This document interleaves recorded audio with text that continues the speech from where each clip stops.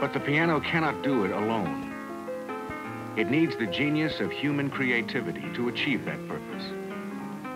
That creativity, set down as notations on a page of music, communicates to the pianist exactly what to perform.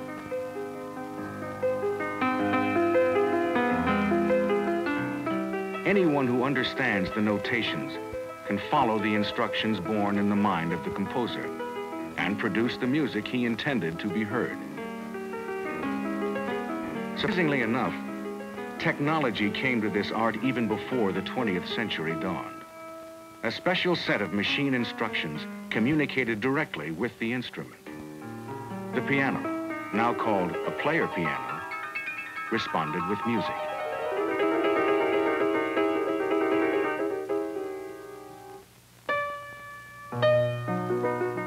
If we consider the player piano as hardware, the instructions on the piano roll are what some call software. Together, they form a system for bringing music into being.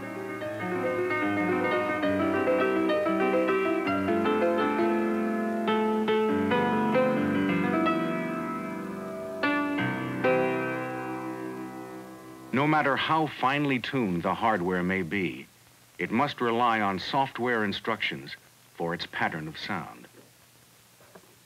Even in the early days of player piano technology, the system remained under human control. People told it what to do by changing the piano roll, and the piano responded by performing many different tasks. Tempo and melody might change, but the flow of music went on.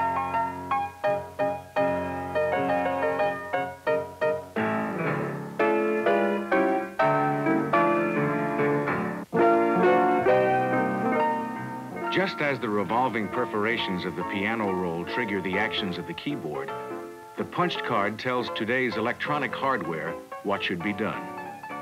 The patterns of holes in the card represent different numbers, letters, and symbols. This input, which a computer must have to perform, can also be entered by paper tape or magnetic tape, or can even be typed in.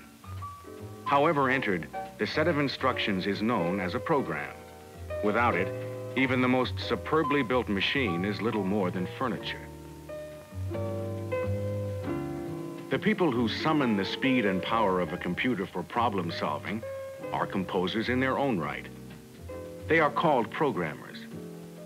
Men and women with the special skill of breaking a problem down into logical steps, then devising a software solution in a language the computer can understand. They can instruct a machine to add, subtract, multiply, divide, and do dozens of other actions in any desired sequence. They can cause it to compare, sort, or store any data needed for the job at hand.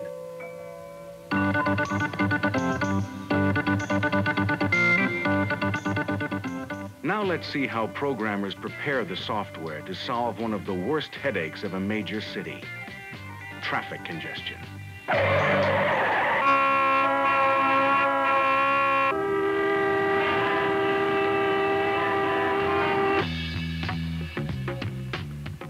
Wonder why they call it software when it's so hard to prepare. Our assignment? Come up with a program to improve the traffic flow on two of New York City's major arteries. Before we can put anything down on paper, we have to understand the problem, get to know every aspect of it. An experienced city traffic engineer is with us from the start. Together, we begin to design a plan for putting traffic control solutions into machine language. The first thing to do is check out traffic programs already prepared for other locations.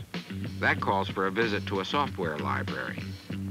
Maybe only a few programs stored on its cards, tapes, and disks will help get us started, but we can't afford to miss any bets at this stage of the game. The printout from these programs is useful. From it, we can check any similarities with our own problem. Meanwhile, our team is growing in numbers and in ideas. With a problem of this size, we have lots of homework to do, some of it topside. courtesy of the city. We see it all, bumper-to-bumper -bumper traffic. A stalled truck, other lanes moving normally.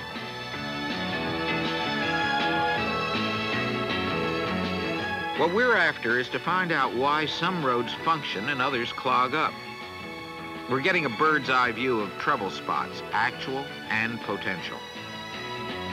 From up here, anyone can see why it takes so long to get across a bridge in this city.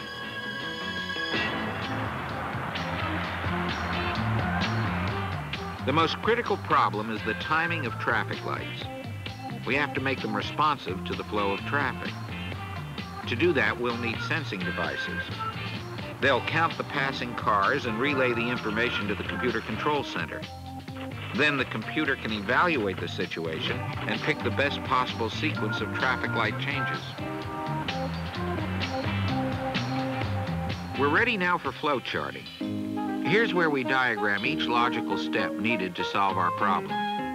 We apply all we've learned about traffic patterns, the system of lights, peak and slack periods, all the realities of the road which must now be translated into a software program. We use symbols and words as the basis of our machine instructions.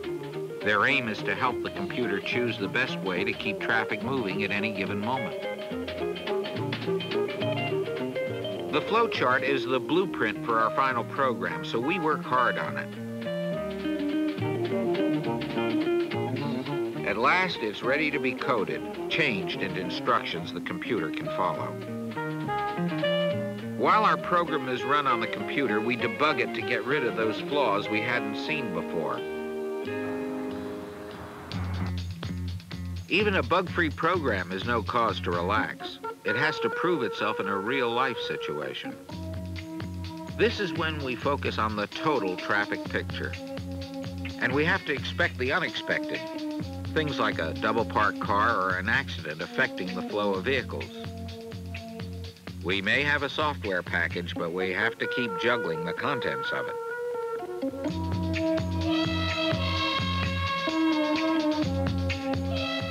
Finally, we have it. A system for switching lights on and off to react to the flow of traffic. At the heart of the system are those sensing devices. They transmit a count of passing cars to the traffic control center We've got a lighted display map, too. It helps show how those knots of traffic are being unraveled. Software and traffic input are doing their jobs, and now it's up to the hardware. The computer analyzes the information, instantly selects the best sequence of lights, then transmits its commands to the control boxes along our traffic routes.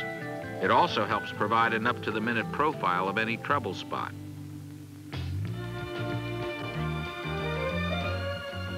Finally, that day arrives when driving on the two arteries assigned to us is less of a battle, and the way to and from work is an easier one for many a traveler. We've come a long way through software and teamwork. It hasn't been easy, but in these days, what is?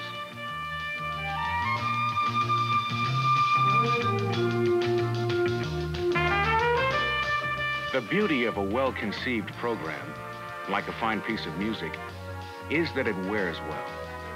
It can be used again and again without becoming obsolete. Software travels well, too.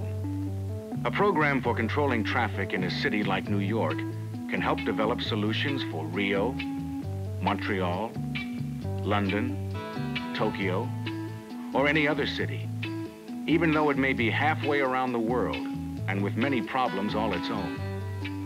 Beyond all this, a software package can lend itself to solving many different problems, even though they may be far removed from the original application.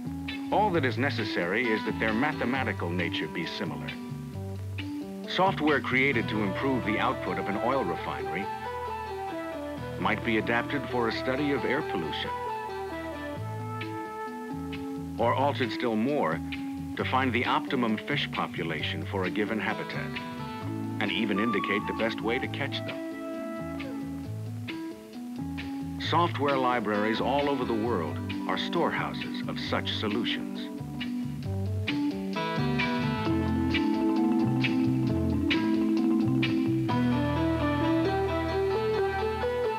Some call it software, the logical and precise path to the solution of a problem, an exercise in achieving harmony.